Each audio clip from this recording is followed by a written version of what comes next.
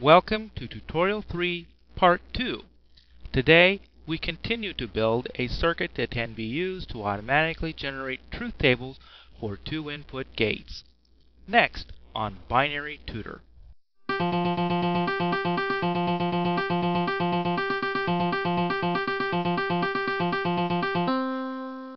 We are almost done with the counter portion of the project. The last remaining issue takes us back to the oscillator. By default, the oscillator produces the fastest possible pulse stream, multimedia logic supports. However, not all circuits can work at that speed. Consequently, we need to manually set the pulse stream to a slower value for this project to work properly. We do so by double-clicking on the oscillator gate. This dialog allows us to set the duty cycle of the oscillator. For our purposes, a value of 8 cycles low and 8 cycles high will work nicely. The counter portion of the project is now complete. We now go back to the first page to add a couple of indicator LEDs.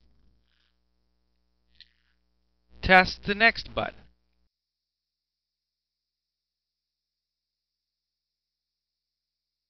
The A and B LEDs change as expected. Now we can test the All button. However, even at the lower rate we set the oscillator gate, it will still be too fast to see. Fortunately, Multimedia Logic has a way of slowing the whole circuit down to a rate that will permit us to see what is going on. First, stop the simulation.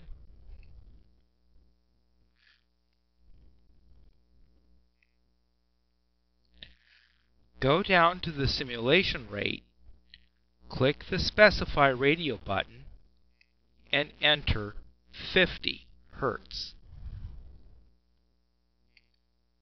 Now, restart the simulation, click on the All button, and hold it down.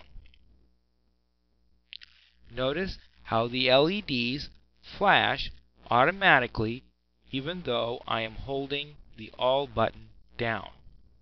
Now that the counter and user interface controls have been completed, it is time to turn our attention to the recorder subsystem of this project.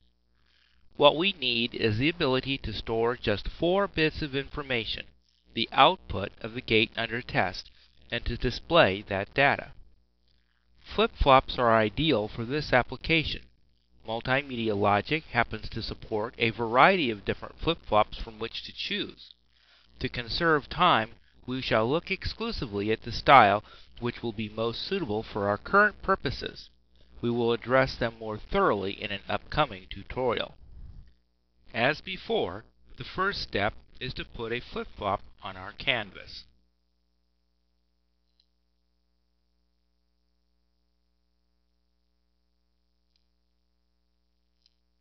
Double-click on the flip-flop to bring up the Properties dialog box. Click on the Master-Slave Data Latch radio button. Click on OK. Let's wire it up and experiment with it.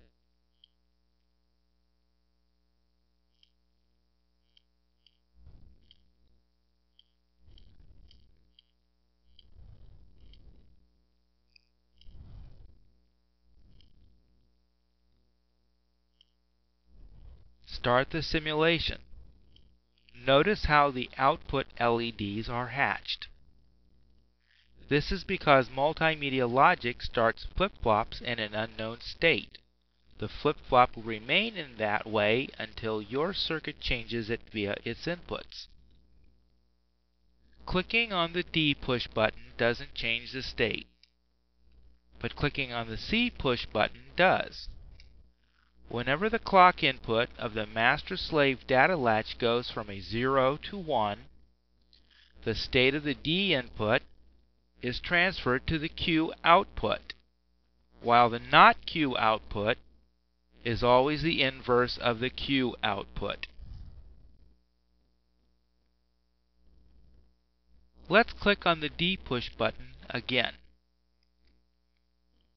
Notice how nothing changes. Watch what happens when the C input goes from 1 to 0. Again, nothing happens. However, changing the C push button from 0 to 1 is expected to cause the D input to be transferred to the Q output. And it does. Because there are four combinations being fed to the input of the test gate, we will need to make three more of these flip-flops. We can do so simply by copying and pasting them.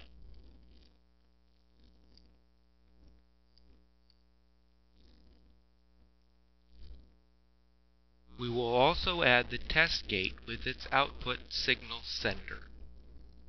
Now it is time to connect the output of the test gate to the input of the recorder flip-flops. We will do so by using one signal receiver and the node device. The node device provides a convenient tie point for multiple wires.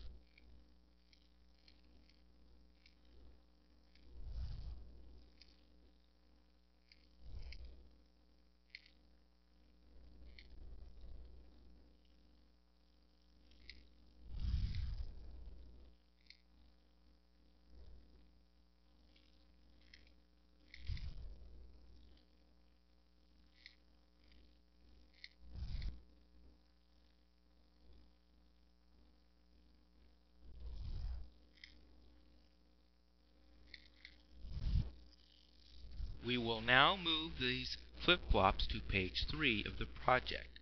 We will use signal senders and receiver pairs to transfer their output to page 1 later.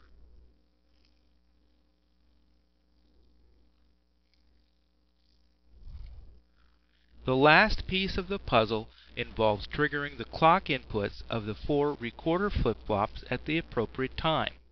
One quick way to do so is to use the 2 input to 4 output demultiplexer device.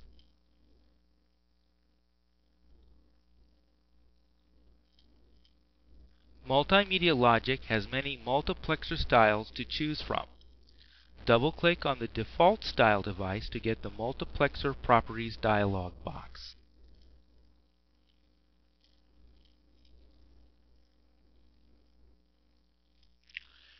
Click on the 2 to 4 demux radio button and close the dialog. The E input must be driven with a ground device.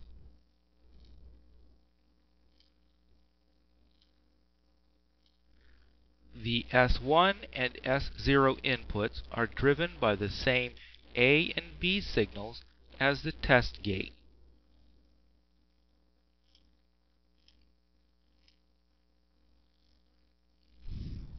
Add some LEDs, and we are ready to experiment. After starting the simulation, click on the Next button.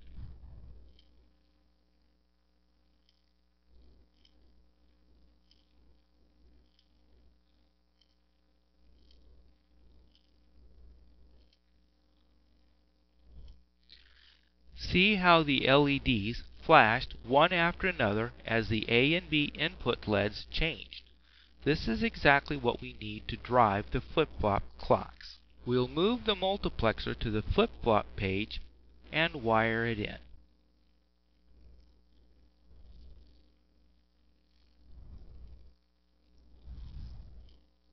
Thank you for watching my videos. If you like them and want to see more, please subscribe to my channel. Just click on the subscribe button located on the right side of this page. On YouTube, the more subscribers, the better, so please encourage your friends to sign up as well. Also, if you have suggestions for topics you'd like to see in future Digital Logic videos, please drop me an email at jlarson43 at juno.com or post a comment on YouTube. If I use your idea, I'll credit you in the video. Until next time, have a great day.